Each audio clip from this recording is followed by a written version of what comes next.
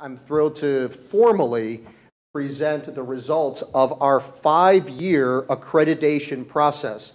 Uh, to Ms. Campbell's earlier comments about the accomplishments this year, in spite of uh, the challenges of working around and through, navigating through the, the, the, the year of COVID, uh, our team has continued on an exemplary path of supporting students and so on. And it's easy for me to sit there knowing all of the intricate work that goes on across our dynamic and complex district, but it's so validating when a third party entity, a nationally recognized entity, comes in and does a deep dive into your operations, into your work, and your core mission, and comes out and gives you feedback that validates some of the praise that I provide and the board certainly provides on a regular basis. So I've given the community a spoiler alert that yes, we are accredited for another five years as a district, but I think there is so much to celebrate throughout the feedback we received in this experience. I want to take a moment and talk about what is system accreditation. It is a, it is a very rigorous research-based uh, dive into the organization uh, looking for evidence-based criteria, certainly research-based strategies. It examines every element of uh, Brevard Public Schools or any district school system. But I want to emphasize, or I want to note the third bullet there, where the process determines how well the parts work together to carry out the institution's vision and meet the needs of every learner. That is our mission statement in and of itself and meeting the needs of every learner. So I'm excited to share some of the, the feedback. The process included an extensive interview uh, cadre of over 500 stakeholders. Over the course, uh, my kudos to our team that accommodated Cognia's requests for all of these processes, all done virtually. Uh, over 500 stakeholder interviews across the organization that included myself, the board members, uh, top level uh, leaders in the organization, but also our teachers, our students, our parents, and community members. It uh, not unusual for me to be at an event like the Space Coast League of Cities and have a parent uh, come and say, "Hey, how did that how did that review go?" I was one of the interviewees in that process, and I have recently been able to boast of our uh, accomplishment. But it also not only uh, was a virtual process, it included 18 different school sites across the district and across all levels. Very comprehensive. Here you see how the organization, how Brevard Public Schools was assessed. Uh, three key uh, components, leadership capacity, learning capacity, and resource capacity. And within each of those components are several standards. And I'll give the board a, a, a, review and the community an overview of what those are specifically in a moment. But each standard is then evaluated and assessed with one of four ratings from red to blue. As you can imagine, uh, red is not where you want to be.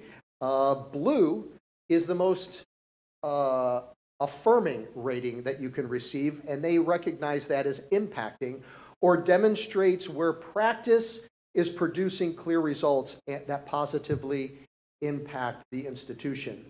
And even the green recognitions of improving, I, I, feel, I think that term improving is a little misleading because if you look at the description, it still clearly pinpoints quality practices that are improving and meet the standards that are being assessed throughout the evaluation.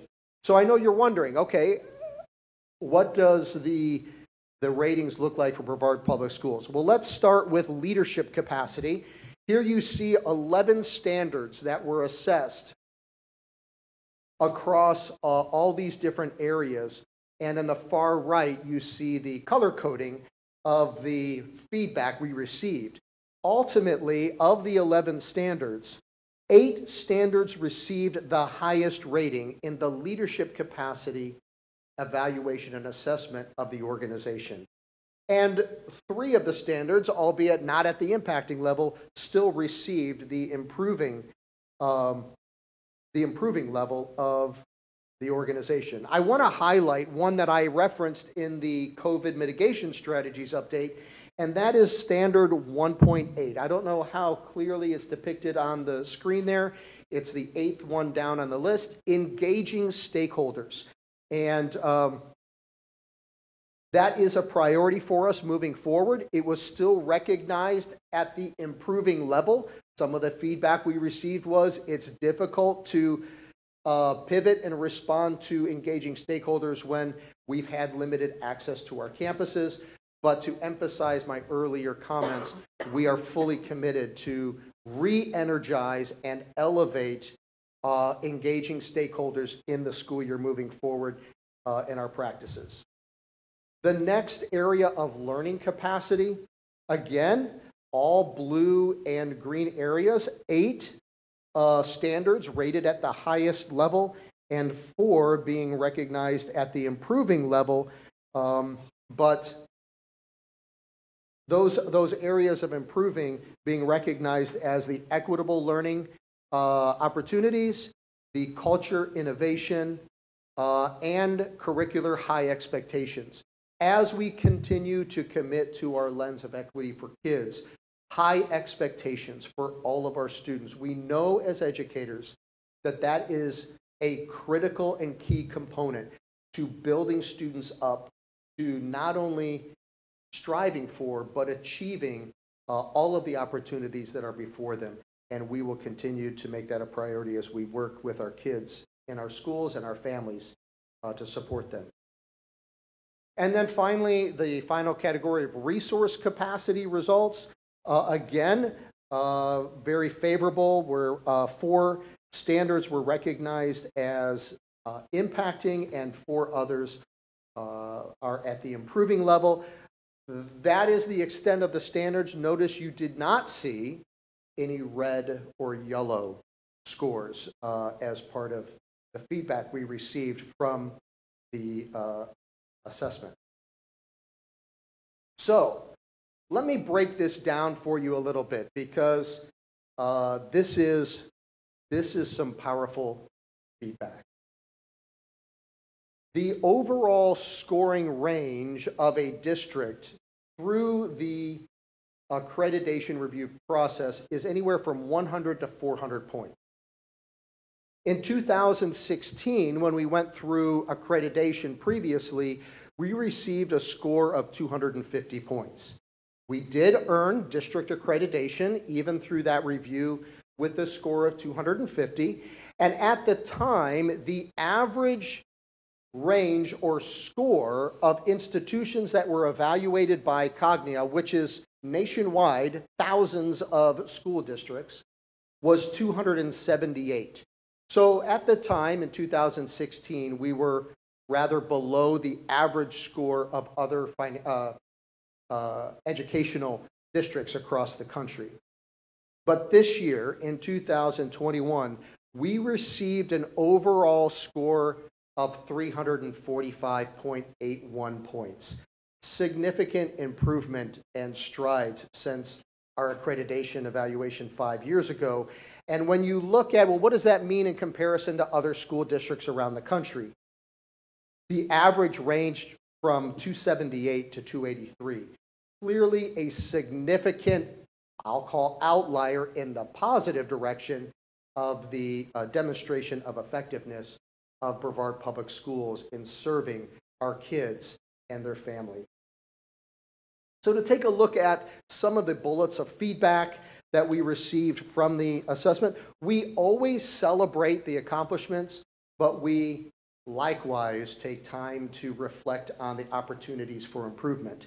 And this, although we had much to celebrate, is no exception.